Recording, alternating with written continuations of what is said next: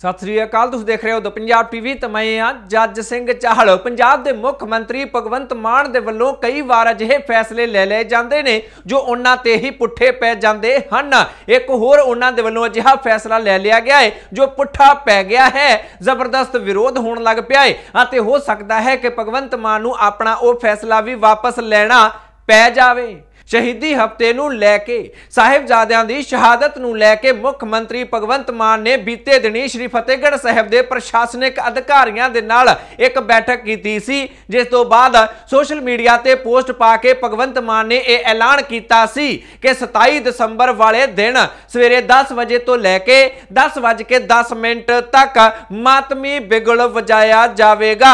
ਮਾਤਮ ਮਨਾਉਣ ਵਾਲੀਆਂ ਧੁਨਾਂ ਕੱਢੀਆਂ ਜਾਣਗੀਆਂ। ਮਾਤਮ ਵਾਲਾ ਬਿਗਲ ਵਜਾ ਵਜਾਇਆ ਜਾਵੇਗਾ, ਮੁੱਖ ਮੰਤਰੀ ਭਗਵੰਤ ਮਾਨ ਨੇ ਸੋਸ਼ਲ ਮੀਡੀਆ ਦੇ ਜ਼ਰੀਏ ਇਹ ਜਾਣਕਾਰੀ ਦਿੱਤੀ ਸੀ ਅਤੇ ਉਸ ਮੌਕੇ ਸਾਰੇ ਲੋਕ ਆਪੋ ਆਪਣੀਆਂ ਥਾਵਾਂ ਤੇ ਖੜੇ ਹੋ ਕੇ ਸ਼ਹੀਦਾਂ ਨੂੰ ਨਮਨ ਕਰਨ ਭਗਵੰਤ ਮਾਨ ਨੇ ਇਹ ਅਪੀਲ ਲੋਕਾਂ ਨੂੰ ਕੀਤੀ ਸੀ ਅਤੇ ਆਪਣੇ ਫੈਸਲੇ ਦੇ ਬਾਰੇ ਵੀ ਜਾਣੂ ਕਰਵਾਇਆ ਸੀ ਕਿ ਅਸੀਂ ਮਾਤਮੀ ਬਿਗਲ ਵਜਾਉਣ ਜਾ ਰਹੇ ਹਾਂ, ਜਿਸ ਦਾ ਜ਼ਬਰਦਸਤ ਵਿਰੋਧ ਸੋਸ਼ਲ ਮੀਡੀਆ ਤੇ ਵੇਖਣ ਨੂੰ ਮਿਲਿਆ। ਲੋਕਾਂ ਦੇ ਵੱਲੋਂ ਸਿੱਖ ਸ਼ਖਸੀਅਤਾਂ ਦੇ ਵੱਲੋਂ ਸੋਸ਼ਲ ਮੀਡੀਆ ਤੇ ਪੋਸਟਾਂ ਪਾ ਪਾ ਕੇ, ਇਥੋਂ ਤੱਕ ਕਿ ਮੁੱਖ ਮੰਤਰੀ ਭਗਵੰਤ ਮਾਨ ਦੀਆਂ ਪੋਸਟਾਂ ਤੇ ਵੀ ਲੋਕਾਂ ਦੇ ਵੱਲੋਂ ਕਮੈਂਟ ਕੀਤੇ ਗਏ ਕਿ ਸ਼ਹੀਦੀਆਂ ਦਾ ਕਦੇ ਵੀ ਮਾਤਮ ਨਹੀਂ ਮਨਾਇਆ ਜਾਂਦਾ ਹੈ ਜਕਾਰੇ ਛੱਡੇ ਜਾਂਦੇ ਹਨ, ਨਗਾੜੇ ਵਜਾਏ ਜਾਂਦੇ ਨੇ ਅਤੇ ਵੀਰ ਰਸਾਂ ਦੀਆਂ ਵਾਰਾਂ ਗਾਈਆਂ ਜਾਂਦੀਆਂ ਨੇ। ਮਾਤਮ ਨਹੀਂ ਮਨਾਏ ਜਾਂਦੇ। ਭਗਵੰਤ ਮਾਨ ਜੀ, ਇਹ ਤੁਸੀਂ ਬਿਲਕੁਲ ਗਲਤ ਕਰ ਰਹੇ ਹੋ। ਸਵਾਲ ਸ਼੍ਰੋਮਣੀ ਗੁਰਦੁਆਰਾ ਪ੍ਰਬੰਧਕ ਕਮੇਟੀ ਤੇ ਵੀ ਉੱਠਣ ਲੱਗ ਪਏ ਸਨ ਕਿ ਸਿੱਖਾਂ ਦੀ ਸਰਮੌਰ ਸੰਸਥਾ ਹੋਣ ਦੇ ਬਾਵਜੂਦ ਭਗਵੰਤ ਮਾਨ ਦੇ ਇਸ ਫੈਸਲੇ ਦਾ ਵਿਰੋਧ ਉਹਨਾਂ ਦੇ ਵੱਲੋਂ ਕਿਉਂ ਨਹੀਂ ਕੀਤਾ ਜਾ ਰਿਹਾ। ਬੀਤੇ ਦਿਨ ਐਸਜੀਪੀਸੀ ਨੇ ਵੀ ਆਪਣਾ ਵਿਰੋਧ ਜਤਾ ਦਿੱਤਾ। ਸ਼੍ਰੋਮਣੀ ਗੁਰਦੁਆਰਾ ਪ੍ਰਬੰਧਕ ਕਮੇਟੀ ਦੇ ਪ੍ਰਧਾਨ ਹਰਜਿੰਦਰ ਸਿੰਘ ਧਾਮੀ ਦੇ ਵੱਲੋਂ ਇੱਕ ਬਿਆਨ ਵੀ ਜਾਰੀ ਕੀਤਾ ਗਿਆ ਅਤੇ ਸੋਸ਼ਲ ਮੀਡੀਆ ਤੇ ਉਹਨਾਂ ਦੇ ਵੱਲੋਂ ਇੱਕ ਪੋਸਟ ਵੀ ਪਾ ਦਿੱਤੀ ਗਈ, ਜਿਸ ਦੇ ਵਿੱਚ ਉਹਨਾਂ ਨੇ ਭਗਵੰਤ ਮਾਨ ਦੀ ਇਹ ਪੋਸਟ ਸਾਂਝੀ ਕਰਦਿਆਂ ਲਿਖਿਆ, ਮੁੱਖ ਮੰਤਰੀ ਜੀ, ਦਸਮ ਪਾਤਸ਼ਾਹ ਦੇ ਸਾਹਿਬਜ਼ਾਦਿਆਂ ਦੀ ਸ਼ਹਾਦਤ ਹੱਕ, ਸੱਚ ਤੇ ਧਰਮ ਦੀ ਰੱਖਿਆ ਲਈ ਚੜ੍ਹਦੀ ਕਲਾ ਦਾ ਪ੍ਰਤੀਕ ਹੈ। ਨਾ ਕਿ ਕੋਈ ਮਾਤਮੀ ਘਟਨਾ।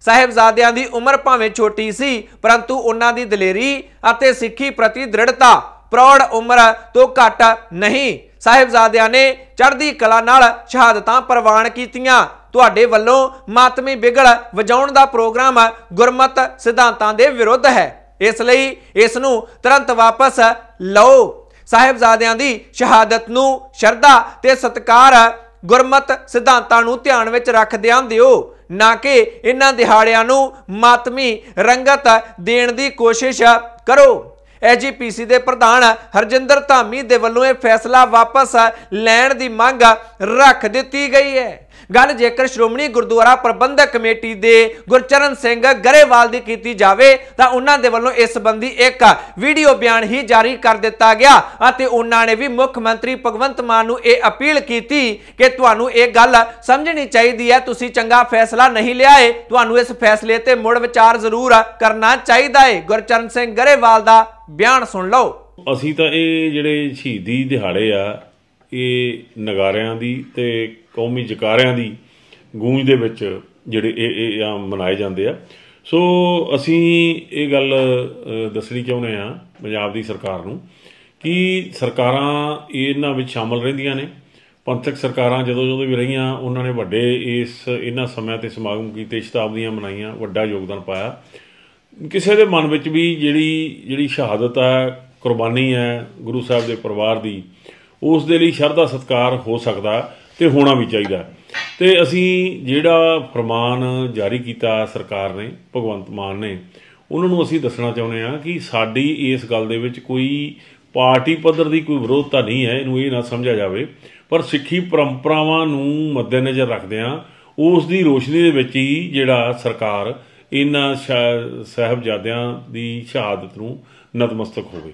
ਸੋ ਅਸੀਂ ਇਹ ਅਪੀਲ ਕਰਦੇ ਹਾਂ ਕਿ ਸ਼੍ਰੋਮਣੀ ਗੁਰਦੁਆਰਾ ਪ੍ਰਬੰਧਕ ਕਮੇਟੀ ਦੇ ਪ੍ਰਧਾਨ ਸਾਹਿਬ ਵੱਲੋਂ ਦਿੱਤੀ ਜਿਹੜੀ رائے ਤੇ مشورہ ਉਸ ਨੂੰ ਬਖੂਬੀ ਸਮਝਣਗੇ ਤੇ ਇਸ ਨੂੰ ਕਿਸੇ ਤਰ੍ਹਾਂ ਦਾ ਟਿੱਪਣੀ ਨਾ ਸਮਝਦਿਆਂ ਹੋਇਆਂ ਸਿੱਖੀ ਜਿਹੜੀ ਆ ਸਿੱਖੀ ਭਾਵਨਾਵਾਂ ਤੇ ਅਤੇ ਸਿੱਖੀ ਮਰਜ਼ਾਦਾ ਤੇ ਸਿੱਖਾਂ ਦੀ ਜਿਹੜੀ ਪਰੰਪਰਾ ਵਾ ਉਸ ਦੇ ਤੇ ਕਿਸੇ ਤਰ੍ਹਾਂ ਦਾ ਕੋਈ ਆਂਚ ਨਹੀਂ ਆਉਣ ਦੇਣਗੇ।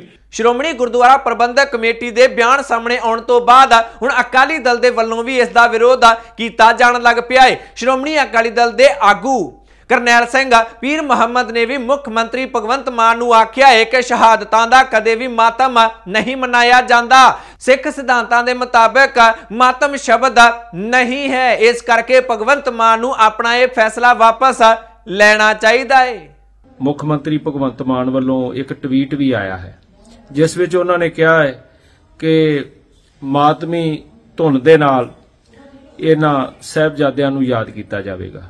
ਮੈਂ ਪੰਜਾਬ ਸਰਕਾਰ ਨੂੰ, ਮੁੱਖ ਮੰਤਰੀ ਸਾਹਿਬ ਨੂੰ ਅਪੀਲ ਕਰਨੀ ਚਾਹਾਂਗਾ ਕਿ ਸਿੱਖ ਸਿਧਾਂਤ ਇਹ ਗੱਲ ਕਹਿੰਦੇ ਨੇ ਕਿ ਅਸੀਂ ਆਪਣੀ ਅਣਖ ਗੈਰਤ ਅਤੇ ਅਸੂਲਾਂ ਦੇ ਨਾਲ ਜ਼ਿੰਦਗੀ ਦੇ ਵਿੱਚ ਜਿਹੜੇ ਸਾਡੇ ਸੂਰਬੀਰ ਯੋਧੇ ਹੋਏ ਨੇ, ਉਹਨਾਂ ਨੂੰ ਯਾਦ ਕਰਨਾ ਹੈ।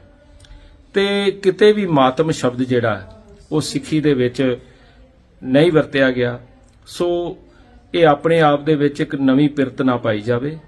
ਜੋ ਵੀ ਸ੍ਰੀ ਅਕਾਲ ਤਖਤ ਸਾਹਿਬ ਜੀ ਤੋਂ ਆਦੇਸ਼ ਜਾਰੀ ਹੁੰਦਾ, ਉਸ ਦੇ ਉੱਪਰ ਪੰਜਾਬ ਸਰਕਾਰ ਨੂੰ ਵੀ ਚੱਲਣਾ ਚਾਹੀਦਾ ਹੈ ਤੇ ਜਿੰਨੀਆਂ ਸਾਡੀਆਂ ਸਿੱਖ ਜਥੇਬੰਦੀਆਂ ਨੇ ਜਾਂ ਸਾਡੀ ਸਰਮੌਰ ਜਥੇਬੰਦੀ, ਸ਼੍ਰੋਮਣੀ ਗੁਰਦੁਆਰਾ ਪ੍ਰਬੰਧਕ ਕਮੇਟੀ ਹੈ ਜੋ ਗੁਰੂ ਘਰਾਂ ਦਾ ਪ੍ਰਬੰਧ ਚਲਾ ਰਹੀ ਹੈ ਉਹਨਾਂ ਨੂੰ ਪਤਾ ਹੈ ਕਿ ਕਿਵੇਂ ਗੁਰਮਰਜ਼ਾਦੇ ਦੇ ਨਾਲ ਕਿਵੇਂ ਕਿਵੇਂ ਪ੍ਰੋਗਰਾਮ ਲਿਖਣੇ ਨੇ ਤੇ ਉਹਨਾਂ ਨੇ ਅਲੀਕੇ ਹੋਏ ਨੇ।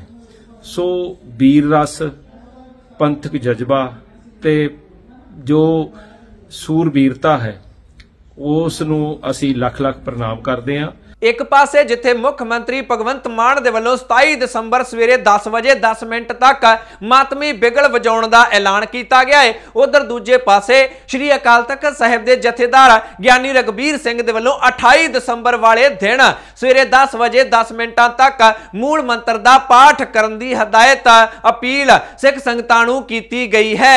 ਅਤੇ ਹੁਣ ਲੋਕਾਂ ਨੂੰ ਇਹ ਸਮਝ ਨਹੀਂ ਆ ਰਿਹਾ ਕਿ ਇੱਕ ਪਾਸੇ ਮੁੱਖ ਮੰਤਰੀ ਭਗਵੰਤ ਮਾਨ ਦੇ ਵੱਲੋਂ ਕੋਈ ਐਲਾਨ ਕੀਤਾ ਗਿਆ ਹੈ ਦੂਜੇ ਪਾਸੇ ਸ੍ਰੀ ਅਕਾਲ ਤਖਤ ਸਾਹਿਬ ਦੇ ਜਥੇਦਾਰ ਦੇ ਵੱਲੋਂ ਬਿਲਕੁਲ ਵੱਖਰਾ ਐਲਾਨ ਕਰ ਦਿੱਤਾ ਗਿਆ ਹੈ। ਉਹਨਾਂ ਨੇ ਵੱਖਰੀ ਅਪੀਲ ਕੀਤੀ ਹੈ। ਤਾਂ ਇਸ ਤੋਂ ਬਾਅਦ ਸੋਸ਼ਲ ਮੀਡੀਆ ਤੇ ਵੀ ਲੋਕ ਦੋ ਧੜਿਆਂ ਦੇ ਵਿੱਚ ਵੰਡੇ ਜਾਂਦੇ ਦਿਖਾਈ ਦਿੰਦੇ ਨੇ। ਪਰ ਖਾਸ ਤੌਰ ਤੇ ਜ਼ਿਆਦਾਤਰ ਲੋਕਾਂ ਦਾ ਇਹੀ ਮੰਨਣਾ ਹੈ ਸੋਸ਼ਲ ਮੀਡੀਆ ਤੇ ਕਿ ਮੁੱਖ ਮੰਤਰੀ ਭਗਵੰਤ ਮਾਨ ਦਾ ਇਹ ਜੋ ਫੈਸਲਾ ਹੈ, ਮਾਤਮ ਵਾਲਾ ਬਿਗਲ ਵਜਾਉਣ ਦਾ, ਇਹ ਫੈਸਲਾ ਉਹਨਾਂ ਨੂੰ ਵਾਪਸ ਲੈਣਾ ਚਾਹੀਦਾ ਹੈ। ਇੱਥੇ ਰਾਏ, ਅਸੀਂ ਤੁਹਾਡੀ ਵੀ ਜਾਣ ਲੈਣਾ ਚਾਹੁੰਦੇ ਆ ਕਿ ਇਸ ਮੌਕੇ ਮੁੱਖ ਮੰਤਰੀ ਭਗਵੰਤ ਮਾਨ ਨੂੰ ਕੀ ਕਰਨਾ ਚਾਹੀਦਾ ਹੈ ਕੀ ਉਹਨਾਂ ਨੂੰ ਆਪਣਾ ਇਹ ਫੈਸਲਾ ਵਾਪਸ ਲੈ ਲੈਣਾ ਚਾਹੀਦਾ ਹੈ ਅਤੇ ਮਾਤਮ ਵਾਲਾ ਬਿਗਲ ਨਹੀਂ ਵਜਾਉਣਾ ਚਾਹੀਦਾ ਕਿ ਜਾਂ ਫਿਰ ਉਹਨਾਂ ਨੂੰ ਆਪਣੇ ਫੈਸਲੇ ਤੇ ਕਾਇਮ ਰਹਿਣਾ ਚਾਹੀਦਾ ਹੈ ਅਤੇ ਮਾਤਮ ਮਨਾਉਣਾ ਚਾਹੀਦਾ ਹੈ ਭਾਵ ਮਾਤਮੀ ਬਿਗਲ ਵਜਾਉਣਾ ਚਾਹੀਦਾ ਹੈ ਜੋ ਵੀ ਤੁਹਾਨੂੰ ਲੱਗਦਾ ਹੈ ਕਮੈਂਟ ਕਰਕੇ ਤੁਸੀਂ ਵੀ ਆਪਣੀ رائے ਜ਼ਰੂਰ ਦਿਓ ਜੇਕਰ ਇਸੇ ਤਰ੍ਹਾਂ ਹੀ ਹਰ ਖਬਰ ਨੂੰ ਨਿਰਪੱਖਤਾ ਨਾਲ ਵੇਖਦੇ ਰਹਿਣਾ ਚਾਹੁੰਦੇ ਹੋ ਤਾਂ YouTube ਤੇ ਦ ਪੰਜਾਬ ਟੀਵੀ ਦੇ ਚੈਨਲ ਨੂੰ ਸਬਸਕ੍ਰਾਈਬ ਕਰ ਲਓ